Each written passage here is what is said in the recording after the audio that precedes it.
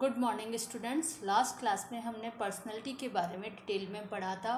Personality क्या होती है? उसके टाइप्स कौन कौन से होते हैं? और पर्सनैलिटी का मेज़रमेंट हम किन किन मेथड से कर सकते हैं? आपके जो भी कंपटीशन एग्ज़ाम होते हैं, उसमें साइकोलॉजी से रिलेटेड जो क्वेश्चन आते हैं, उसमें पर्सनैलिटी के कुछ क्वेश्चंस ज़रूर होते हैं। इसलिए मैं इससे रिलेटेड आपके thirty five M C Q लेके आई हूँ। आप इन क्वेश्चंस को ध्यानपूर्वक पढ़िए, सुनिए और इसका आंसर आप खुद दीजिए, साथ के साथ मैं आपको आंसर बताती जा रही हूँ। फ़र्स्ट क्वेश्चन है, व्यक्तित्व शब्द की उत्पत्ति किस शब्द से हुई है? पर्सन पार्सोना पर्सोना पर्सनैलिटी यहाँ पे जो बी और सी ऑप्शन है, इसमें स्पेलिंग में थोड़ा सा ही डिफरेंस है, लेकिन इसका सही उत्तर है सी परसोना सेकंड क्वेश्चन है, व्यक्तित्व वही है जो हम करते हैं। यह कथन किसका है? मन बोरिंग वाटसन या वारेन इसका सही उत्तर है सी वाटसन ये वाटसन ने कहा है कि व्यक्तित्व वही है जो हम करते हैं। थर्ड क्वेश्चन व्यक्तित्व एक गतिशील संगठन है। यह कथन है। वाटसन आलपोर्ट मन या थॉर्नडाइक इसका सही उत्तर है बी आलपोर्ट आलपोर्ट ने व्यक्तित्व की परिभाषा में कहा है, व्यक्तित्व एक गतिशील संगठन है या कत्यात्मक संगठन है। फोर्थ क्वेश्चन है, निम्न में से कौन सा प्रकार शेल्डन के व्यक्तित्व अनुसार नहीं है? एंडोमार्फी, मिसोमार्फी, एक्टोमार्फी या एस्टोमार्फी? जब हम शेल्डन का हमने व्यक्तित्व पढ़ा था तो उसने तीन प्रकार बताए थे एंडोमार्फी एक्टोमार्फी और मिसोमार्फी। इसलिए इसका आंसर है डी। एस्टोमार्फी शेल्डन के अनुसार व्यक्तित्व का प्रकार नहीं है। फिफ्थ क्वेश्चन, क्रैचमर ने शारीरिक संरचना के आधार पर व्यक्तित्व के कितने प्रकार बताए हैं? ए है four, B five, C six और डी एट। इसका सही उत्तर है ए फोर। क्रैचमर ने शारीरिक संरचना के आधार पर व्यक्तित्व के चार प्रकार बताए हैं। नेक्स्ट क्वेश्चन नाटे, मोटे आराम पसंद व्यक्ति किस वर्ग के अंतर्गत आते हैं? एथलेटिक पिकनिक एस्थेनिक या डिस्प्लास्टिक इसका सही उत्तर है बी पिकनिक जो नाटे, मोटे आराम पसंद व्यक्ति हैं, वो पिकनिक वर्ग के अंतर्गत आते हैं। सेवेंथ क्वेश्चन युंग ने व्यक्तित्व के कितने प्रकार बताए हैं? दो, चार, तीन और पाँच। इसका सही उत्तर है सी, तीन। युग ने व्यक्तित्व के तीन प्रकार बताए हैं। नेक्स्ट युग ने व्यक्तित्व के कौन कौन से प्रकार बताए हैं? अंतर्मुखी, बहिर्मुखी, उभयमुखी या सभी? इसका सही उत्तर है डी, सभी। क्योंकि युंग ने तीन प्रकार बताए हैं, अंतर्मुखी, बहिर्मुखी और जिसमें दोनों प्रकार के गुण पाए जाते हैं, वो उभयमुखी। इसलिए इसका डी उत्तर सही है। नाइन्थ क्वेश्चन, अंतर्मुखी व्यक्ति होते हैं। ए, सद्देही, शंकालु, एकांत प्रिय।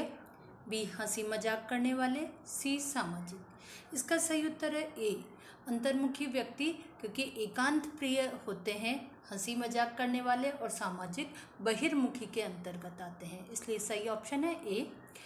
टेंथ क्वेश्चन, भारतीय दृष्टिकोण के अनुसार व्यक्तित्व के कितने प्रकार होते हैं? तीन, चार पाँच या छः इसका सही उत्तर है ए, तीन। भारतीय दृष्टिकोण के अनुसार व्यक्तित्व के तीन प्रकार बताए गए हैं। इलेवन, भारतीय दृष्टिकोण में इनमें से कौन सा शामिल नहीं है? सतुगुणी तमोगुणी, रजोगुणी या समाजगुणी? इसका सही उत्तर है समाजगुणी, डी।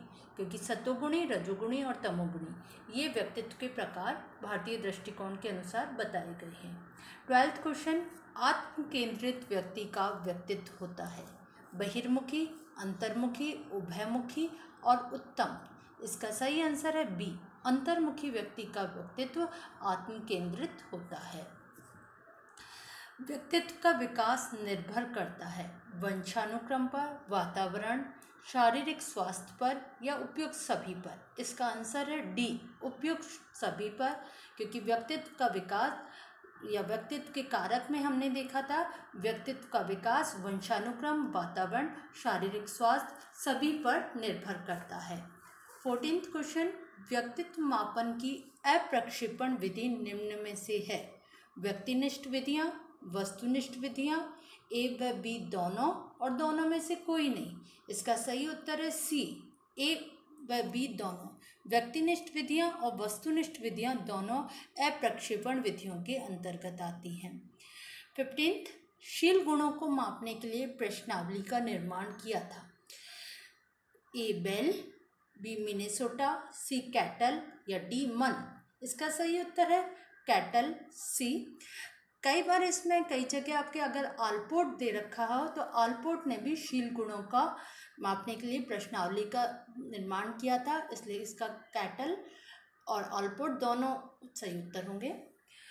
क्वेश्चन सिक्सटीन, अचेतन मन का अध्ययन किस विधि में किया जाता है?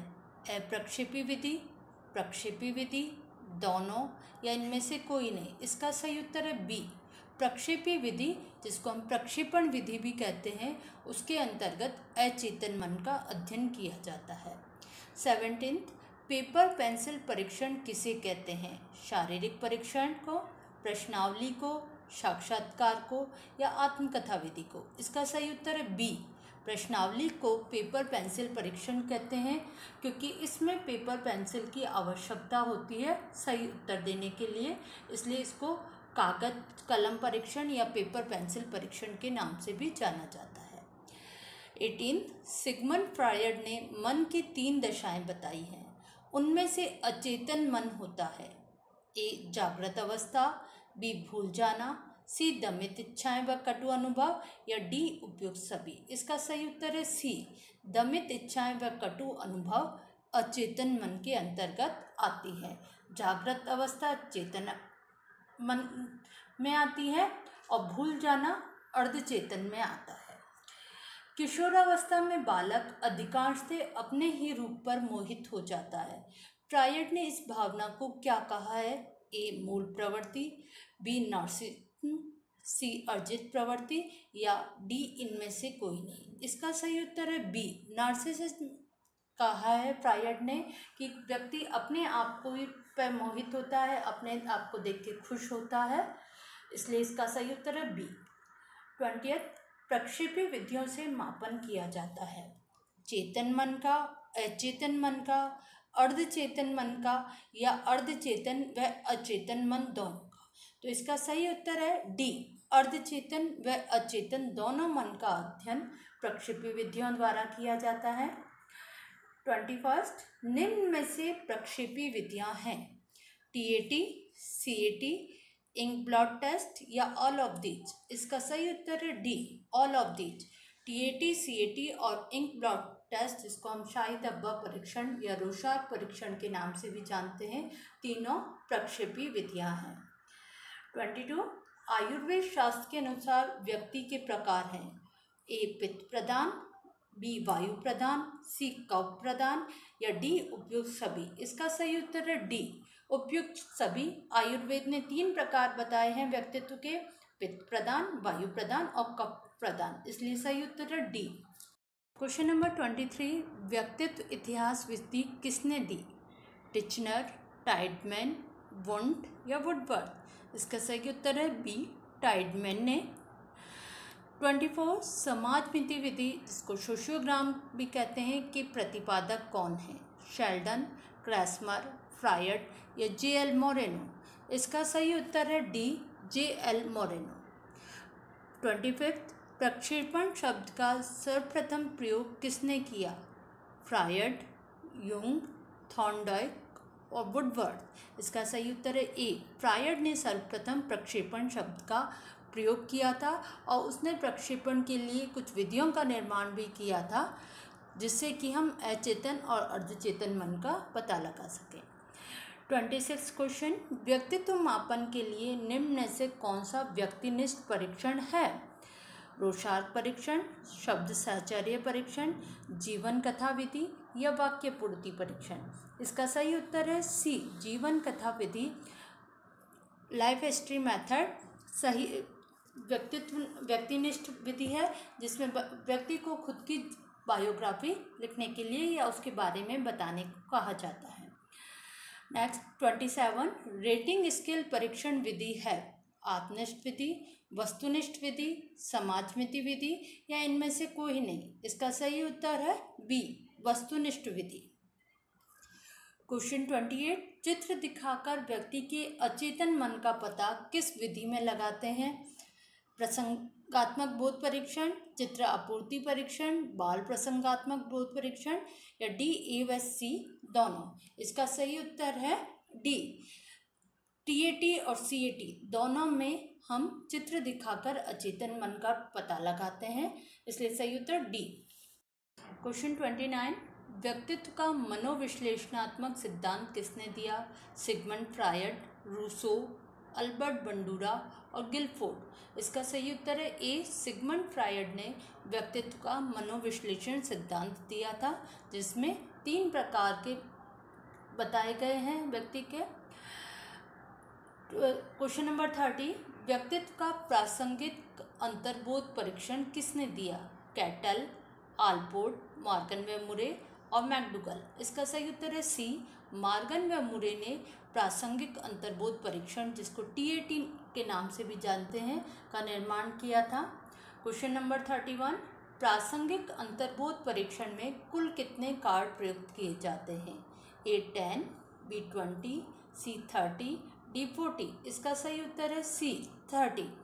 टीएटी टेस्ट में थर्टी ऐसे कार्ड होते हैं जिन पर चित्र बने होते हैं और एक सादा कार्ड होता है, जिस पे कोई चित्र नहीं बनना होता। इसलिए अगर आपका थर्टी वन ऑप्शन आए तो वो भी ठीक होगा। या हम, हमारा थर्टी आए तो वो भी दोनों ठीक है।